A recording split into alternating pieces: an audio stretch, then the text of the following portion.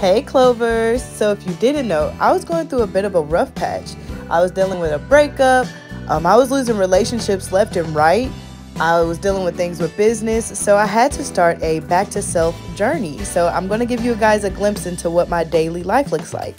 For me, the journey is all about helping me get back to a disciplined routine, back to self love, and ultimately helping me reach all of the goals that I set for myself for this year. Clovers, I have been loving the effects on my body that this sea moss gel has been having, and the chlorophyll water has just been like the icing on top of the cake. I feel energized, my skin is clearing up, and everybody's been saying I'm glowing. And it definitely helps with digestion. So if you are having any digestion problems, make sure you get you some sea moss and liquid chlorophyll. Re enrolling in school has also been a major factor of my back to self journey. I am so happy that staying disciplined has helped me get back to self. And for anyone going through what I did, just know it gets better and stay focused. You got it.